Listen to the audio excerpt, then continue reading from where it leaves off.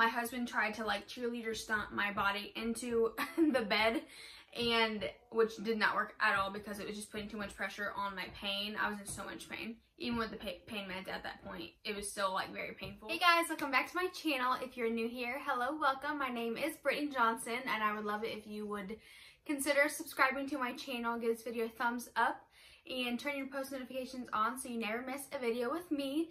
Today's video is really exciting and definitely highly recommended um, if you haven't seen my last day in the life of a newborn vlog. I got a ton of comments on there saying that you guys would love to see a video on how my C-section recovery went and what I would recommend for you guys to get through that recovery process. So today's video, I will be speaking to you guys about the honest truth of C-section recovery and my tips and tricks that I think you would really enjoy and be really helpful for you, for all you mamas who are about to endure a C-section and go through the whole recovery process. You will make it, trust me.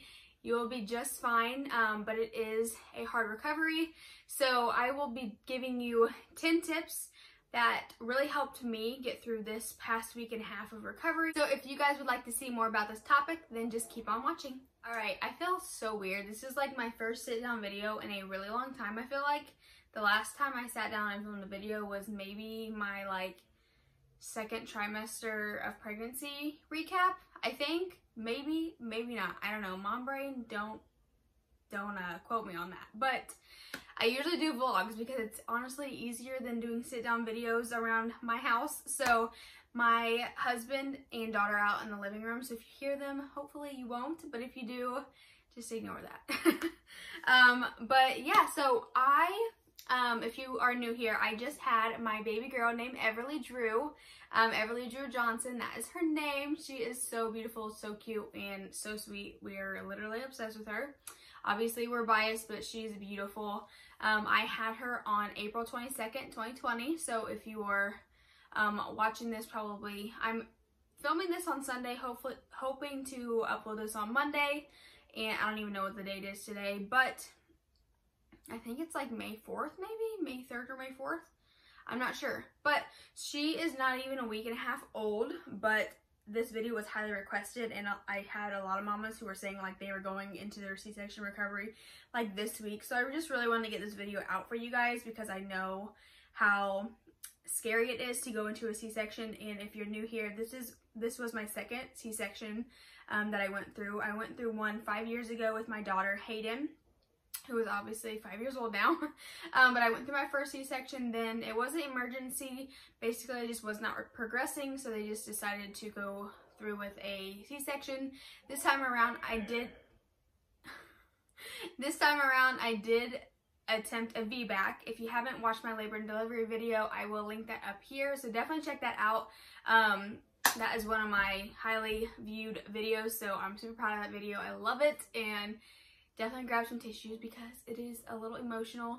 Um, but I did attempt a VBAC. I don't want to say it was not successful because I don't want to like have that negative vibe around me, but um, I did end up with a C-section, but I did actually progress to seven centimeters, but then baby girl's cord was wrapped around her neck twice, so I had to end up going into a C-section, unfortunately, but she's here, she's healthy, and that's all that matters. So this was my second C-section recovery. Last the one five years ago, all I remember from it was it was just super painful, the recovery. Like the actual surgery wasn't very painful, but afterwards was super painful. And I was a single mama at that time. Right now, this time around, I'm married, so I have my husband um, here to help me out.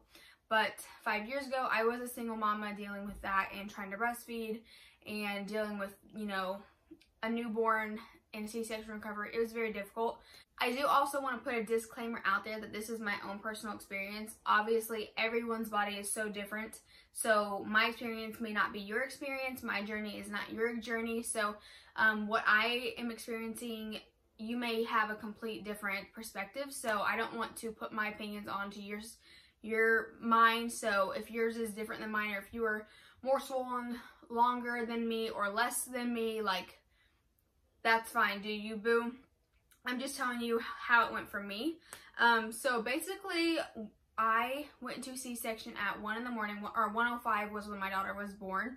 um, obviously like cut out of me, taken out of me. Um, and then they did this surgery to stitch me up. And then it actually took me almost four hours to recover because um, we believe that the anesthesia or anesthesiologist gave way too much um, anesthesia um, to my body. So I was literally like, I don't want to say paralyzed, but I literally couldn't move from like my chin down. Um, and that was not the case with my other C-section. I could still like move my body. Um, I couldn't feel like obviously like here and down because the, obviously they're cutting, but I couldn't even move my arms or neck. I ended up throwing up and like throwing up in my mouth because I literally could not even turn my neck. It was just really rough. Um, but I'm not going to get into all of that just because you can watch my whole labor and delivery video and it'll explain it all there. Um, but so it took me about four hours to recover to get my blood pressure up because it was from like down low 80s over 30s and if you don't know your blood pressure should be around 120 over 80 so it was like bottoming and they could not get it up. So I was in recovery for almost four hours. Finally moved to the postpartum room um, and it was about four o'clock almost five o'clock in the morning at that point me, baby girl, and my husband ended up falling asleep. I fell asleep for maybe like two or three hours, and then the nurses were coming in to do, you know, just those hourly checks. So I just remember waking up and trying to sit up for the first time and so much pain. I was like, oh my gosh, this is gonna be horrible. um, my doctor, I don't know exactly what it's called, but she does this thing where she puts an ex like a layer of medicine in the stitching or something like that um, that was like better for numbing your pain for like up to like three days. You'll be like numb is what she was claiming. And so I was honestly expecting me not to be in pain because if I'm numb I'm not in pain. Like that's how I was assuming not the case for me I was in so much pain I was like please give me pain medication um, when my doctor came in a few hours later, I was like, when am I going to get the pain medication? Because I'm in so much pain. Um, and so they ended up giving me more pain medication and all that because I literally could barely even like move my body whatsoever. Um, and I don't know if that's because of what had happened with the anesthesiologist, that my body just did not recover very well and I was just in more pain than usual. Um, but I, it was really hard for me to get up. So they were giving me pain medication through my IV um, and then also oral. So when I was on the pain medication, I felt a lot better. I was able to finally get up and go to the bathroom. Um, I was really scared to pee because I couldn't remember if it was like painful to pee or not. And I peed and I peed just fine. It, it barely, like, if anything, stung like the teeniest bit. And I think it's just because I hadn't peed in a while. Like, that's really why. Um, but did not hurt at all. Um, you don't have to, like, poop or anything at the hospital. Um, in my situation, I didn't have to poop before I left or anything. I just pee. They have you like pee twice, I think. I'm pretty sure. They have like a certain amount you have to reach. Um, and when the nurse came in finally, like in the morning and everything, she had me go, get up to go pee. She gave me the pain medication, and then she also gave me a belly band um, to have just in case I wanted to wear it. I didn't wear it um, for maybe like a couple hours, or maybe it was, no, it was, yeah, I didn't wear it the first couple hours because I was just like, I don't really think I'll wear it. Um, but I ended up changing out of my hospital gown, um, changing into the robe that I brought, my hospital gown robe or whatever, that was more pretty and made me feel like more comfortable, um, more like at home or whatever. So I changed into that and that's pretty much how the beginning of my recovery went. I wasn't in a ton of pain, but the pain meds definitely helped. Um, and then that night, so you know, that was during like 5 in the morning, 6 in the morning. But that night, um, my baby was cluster feeding, so I was having to sit up and back and forth, like breastfeeding the entire night. Basically, if you're not breastfeeding, then maybe it's a different situation, but I was having to like push the buttons, and I just remember it was so difficult for me to like reach the buttons on the side of my bed because I couldn't reach them like this because I couldn't move far enough back, and then I couldn't reach them like this because I couldn't move my torso. Like, it was just miserable.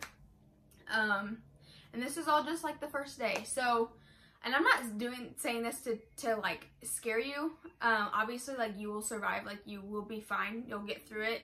I'm just telling you my how this went for me. So, um, I was cluster feeding, so I was I, I finally got to the remote and made sure it kept st stayed next to me so I could reach it. But sometimes it was difficult. Um, so I would push the button up and down. It would help me go up and down. And then um, that was the only way I was able to sit up and lay down was the buttons. I physically could not. Um, and by the time it was ready for more medicine, I was like, please give it to me because I was in so much pain. So, but they were not on top of the medications. I was like calling the nurse because I really needed the medications really badly. Um, but my nurses were freaking incredible. They were so much help and like just so encouraging. Like they were just so sweet. I have nothing bad to say about my hospital's nurses at all. They were incredible. And my doctor, of course, was beyond incredible. So after that night, the very next day um, would have been, I had her Wednesday morning at 1 in the morning. We went home Thursday evening around 8 o'clock. Um, I know that's like really quick to leave for a C-section. Um, I'm not really sure why we were out so early. Um, we have a really good connection with our doctor. Um, so I don't know if that's why we were like really trying to get home to be with our daughter, um, Haidyn. She's five and because of the COVID going on, she was not allowed to be in the hospital at all. We were not allowed to have anybody here besides just me and my husband. So we obviously wanted to be home as quickly as possible and it's just more comfortable at home, which honestly I could have stayed another day because of being able to have the hospital beds up and down and having like help with the nurses and all that. Honestly, I could have stayed another day, but I know my husband was really wanting to get home and obviously I wanted to get home to see my daughter as well, but that's besides the point. So Thursday night we got home. I was just so swollen. I just remember being so, so swollen and so much in pain. Like walking was really painful. Um, you know, you just have to be very careful. Like lifting your legs is very painful.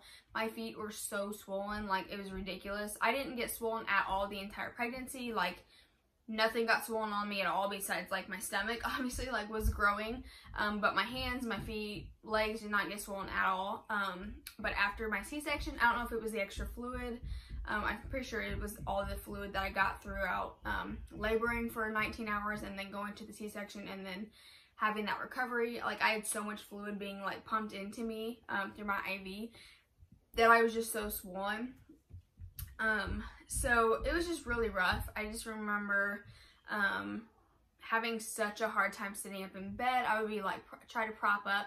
Obviously, this is our bed right now. I'm just filming on our bed. Um, but this is where I sleep and this is where my husband sleeps. So I would have like pillows stacked up, um, try to sit up in bed, but like trying to breastfeed at night is very difficult. So you definitely want to like make sure you have someone to help or like these tips that I will let you in on in just a few seconds. Now, fast forward, it is Sunday, and I would say about Thursday or Friday was when my swollenness, my swelling went down and I finally felt normal again and not in any pain. I actually quit taking my pain medication um, three days ago and I'm like pretty much all good.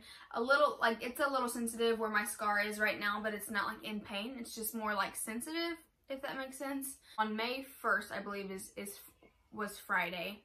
And that's pretty much when I like got up in the morning and went to the bathroom and I have like a full mirror and I was like looking at my stomach and everything, looking at my, my body and like I just noticed a huge difference in my swelling. Like I looked way smaller than what I was looking like before. It was about like a week and two to three days that my it took my swelling like it took until my swelling went down. My feet were all the way down and my stomach was all the way down. Obviously i'm not like flat flat or anything not at all. I, I still have like the belly fat like the regular stuff that i just like put on during the pregnancy but it's not like the fluid swelling. I'm just back to like what I would be without the baby and without the fluids and all that. So that's just my recovery right now into Sunday and I'm feeling really good. Um, it was a rough week, that's for sure. People would ask me how I was doing and usually I'm someone who sugarcoats it and I'm just like, oh, I'm doing fine. I would be like, I'm having a really rough recovery, but it will be okay. I definitely need to stay on my pain meds, but I'm, you know, I was just, yeah, I, it was rough, but it's all good. I'm doing really well now. Obviously, I still have to take it easy. Um, a C-section for with my hospital, your re restrictions are for six weeks. You can't pick up more than um, the weight of a milk jug.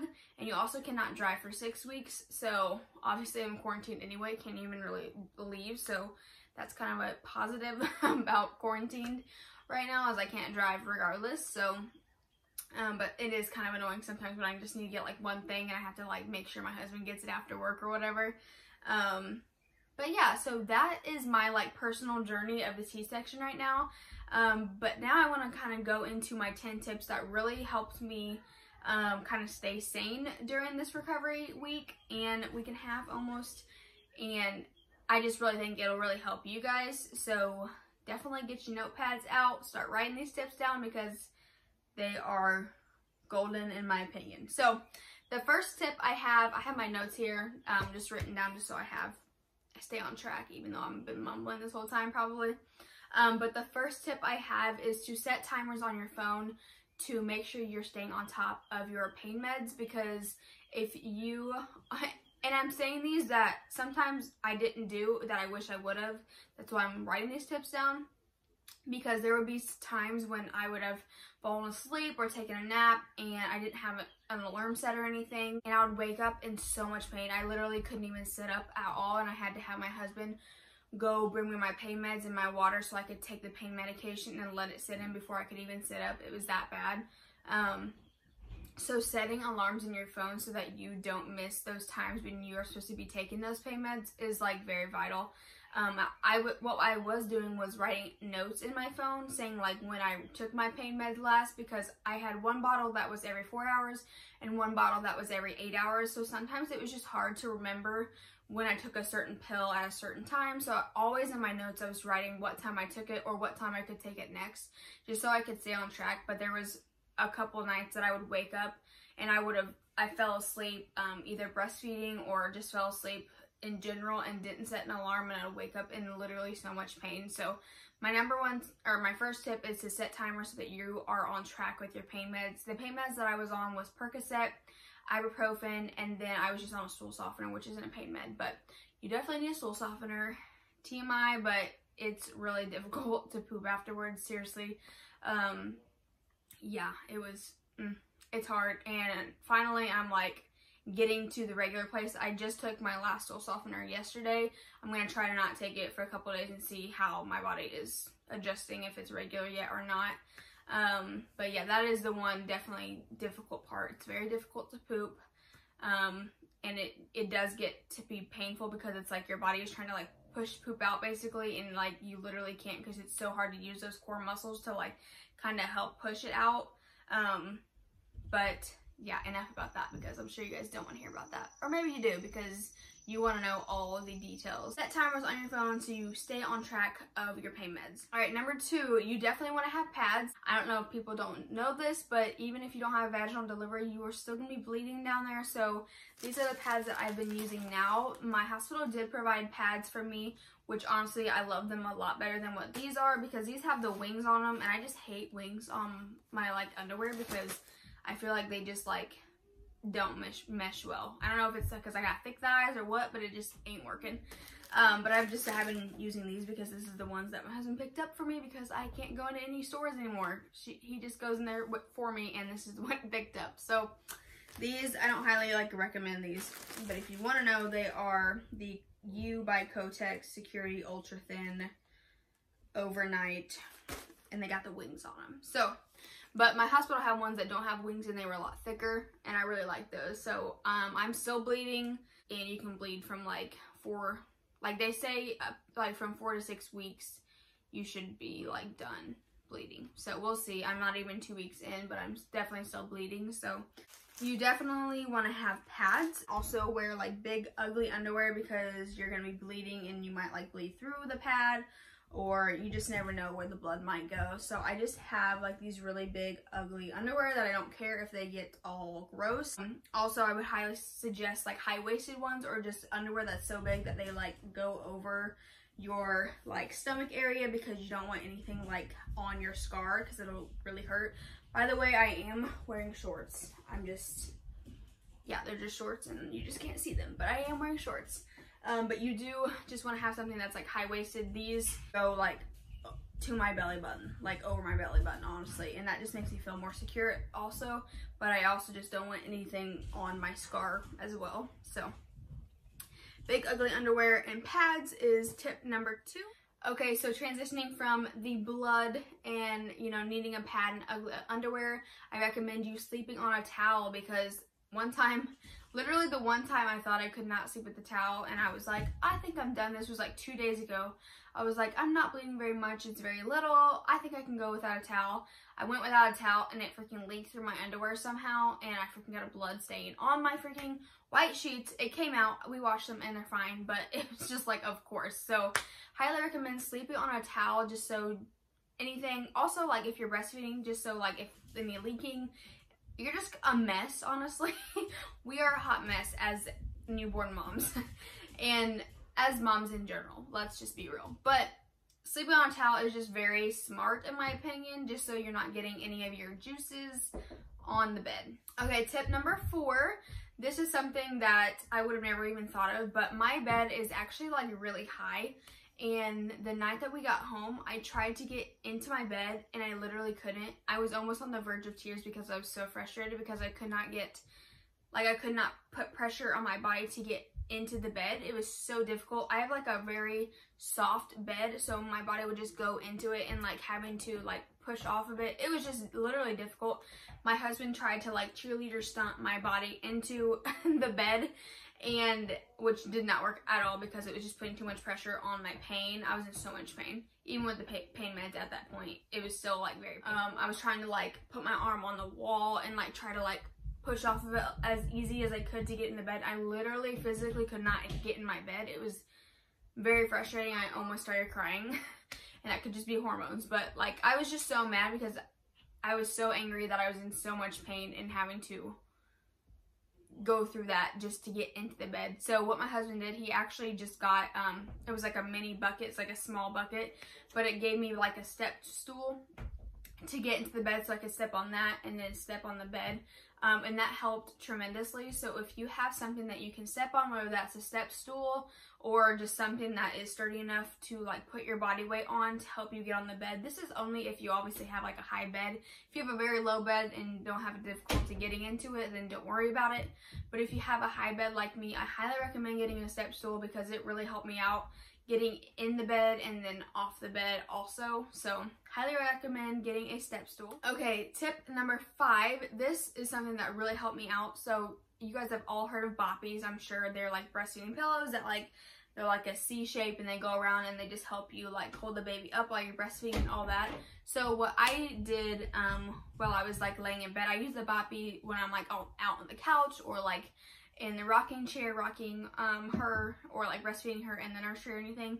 I use that, but in bed I reverted back to my pregnancy pillow. Um, so I figured I would just show you guys. So what I would do was I would like stack my pillows like this and then obviously this would be over there, but I don't want to move for the video. So I would also put this up and then um, these arms right here acted as a boppy. So, you know, in the middle of the night when you're doing those late night feedings, sorry, this is probably not the best view of me.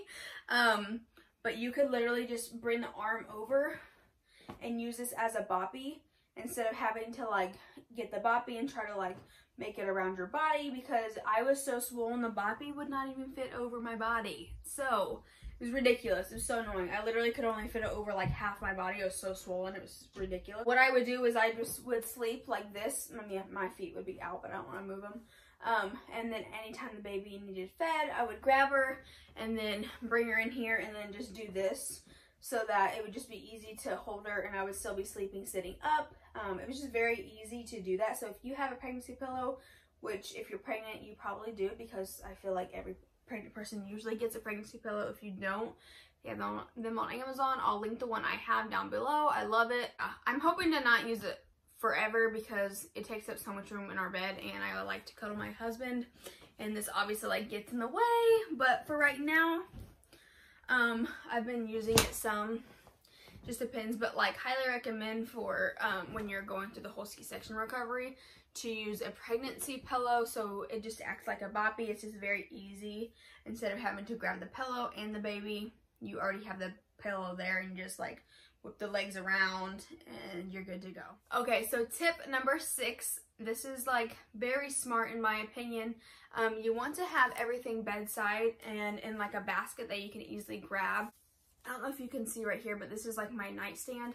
Um, and so I have this basket here. And so if I'm like asleep or whatever, I can easily just grab the whole basket and bring it over here instead of having to get up and like go grab stuff or like have to like gather multiple things. Everything is in a basket that I would possibly need for the baby. So um, I just have wipes. I have diapers in here. I have diaper rash cream. I have a um, pacifier and I don't have it in here right now, but I, I would have my Haakaa in here also. Um, breastfeeding pads um, or like nipple pads. Um, and that's pretty much typically, oh, and like a, a burp cloth I usually have in here as well. But um, it's just really convenient to have like a basket or just a container that you can have everything in here that you can easily grab. Because if you have to sit up, it's very difficult. Like I, the, the entire week of recovery i'm only using my arms to move. I can't like get i can't use my muscles core muscles whatsoever to sit up. So i was literally like pushing off the like headboard. I was using my like arms to pull my body up like this or to sit up just literally trying so hard to use only my arm muscles and nothing like lower body at all because you literally just can't. That's just how it is um, so being able to just reach over, grab this instead of having to sit up and like move, it just really is like a lifesaver to be honest. And then tip number seven, you want to wear loose, comfy PJs. I will show you the pair that, or one pair that I have. My mom actually went out and got me this because when I got home, um, I literally could not wear anything. And I had no PJs, like, nothing that I could easily breastfeed in and nothing that was loose enough that it was comfortable. So the very first couple nights I was just in my underwear and bra or underwear and nothing else because you're breastfeeding so hello your boobs are just gonna be like out. So um but my mom my mom, my sweet mom, she went to Target and bought me like a bunch of PJs that were like very breastfeeding friendly, very big and comfy. Um, so this is just one of the outfits for an idea. Um, this is like a pajama dress. So it goes all the way down, um, but it is a button up so that you can easily button it down to breastfeed and it's very loose and you just don't feel like constricted at all, but you're still like in something that's gonna keep you warm. This comes in very handy to have loose comfy pajamas, so I highly recommend if you do like a shorts and shirt set, like a loose shirt with shorts, you wanna have the shorts be like very loose and big on you and like something that's gonna come above your waist um, nothing that's going to be tight against your scar because like like I said, it's just very painful. Even on pain meds, it's just like you are beyond miserable if you miss your pain meds. Okay, and then tip number eight, I already kind of touched on, but in the hospital, they did give me a belly band. I've gotten a couple people asking me like what belly band it is. I have no idea. Um, on the tag, it says comfort. I will leave it up here. Comfort, it's not comfort, it's comfort abdominal binder and that's all it says. Um, it was like in a box and they just gave it to me, but this is literally it and I love this. Um, I can only, I mean, I can put it on myself, but it's not very tight when I do it myself. It's very hard to like wrap it and like get it really tight because it's very stretchy. Um, so I was having my husband put this on me, like wrap it while I held the other side so it could be really tight because I don't know. I feel like it's weird because you would think you wouldn't want anything like holding your scar or like holding your belly in when you're in pain. But for me, it felt very secure and very like held together. And I feel like with your belly like hanging more, if that that's like weird, but with your belly like hanging and loose, um, it was more painful than when it was like all like in a bear hug and like very secure. So um, I had this on the very next day that I gave birth. So um, I don't wear this every day. I do not wear this all day. I just wear it randomly. I need to start wearing it and haven't worn it in the last couple days. But I was wearing it the very first um, like four or five days of recovery and it really helped me and made me feel like a lot more secure and I feel like it definitely did help my swelling go down. I probably will either keep wearing this or switch to like my waist trainer eventually just to help my waist like kind of inch down better. Like I said, this is what my hospital gave me. I didn't buy it or anything, so I don't have anything like to link down below for you guys. So I'm sorry about that. Maybe you guys should call your hospital to see like what they offer for a C-section or what they offer or if they do have belly bands that they will provide but they gave me this and they didn't give me one for my first daughter's c-section and i went to the same hospital so this is like a newer thing um, within the last five years so but i highly recommend that it definitely helped me feel a lot more like it was like less painful for my stomach to not be like hanging um, so I liked this. Tip number nine, almost done guys. Tip number nine, definitely keep your feet up when you're sitting. I would, like I said, my feet were very swollen, but anytime I would just sit on the couch with my feet like on the ground or sit anywhere like on a kitchen chair or like on the steps and just have my feet like like you were sitting and they were like touching the floor, I would stand up like 10 minutes later and my feet had swollen like double its size. It was ridiculous. Double like than what it was already swollen because the blood just like goes all the way down and the fluid goes all the way down to your feet. So every time you're sitting, you need to have your feet propped up on a pillow, on a footstool, on a table. Have your feet up as much as possible. Um, even when you're sleeping, try to have a pillow underneath your feet or underneath your legs. It really does help. Um, you could see like my feet physically like going down um, the longer I would sit with my feet up um, compared to like sitting down. So that definitely helps and I highly recommend keeping your feet up as long as possible.